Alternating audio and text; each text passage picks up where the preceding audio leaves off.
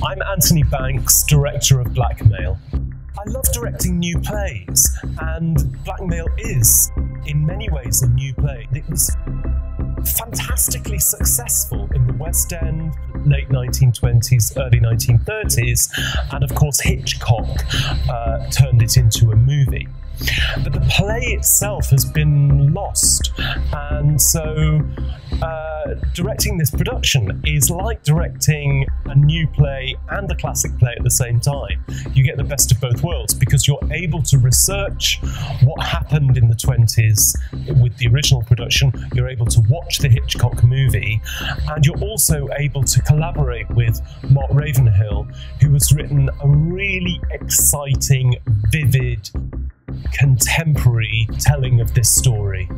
When I read the story of Blackmail the first time, I was immediately hooked by this moral dilemma the central character, 19 year old Alice Jarvis, finds herself in. She makes a choice one midsummer night and it causes catastrophe. And it's like a domino rally, a kind of ricochet of um, of disaster after disaster, and uh, it's irresistible because it could happen to any one of us. There really isn't a downbeat in this thriller.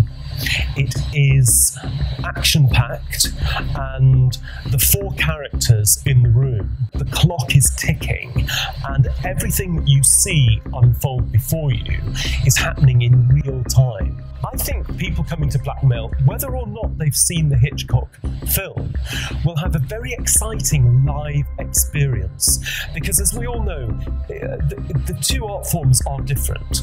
And watching a story unfold in the cinema or on Netflix or, you know, on your phone is quite a locked experience.